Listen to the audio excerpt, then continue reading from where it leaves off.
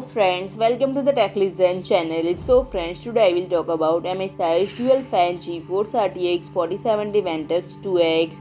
So friend, MSI has introduced the Gaming Slim series and the all new white RTX 4070 Ventus 2X. MSI listing a stretch ring 79 different models based on the RTX 40 series various their Radeon RX 7000 series offering are notably limited comprising just 4 models and the latest addition to MSI's ever expanding collection is Ventus 2X White based on 200 watt RTX 4070 SKU.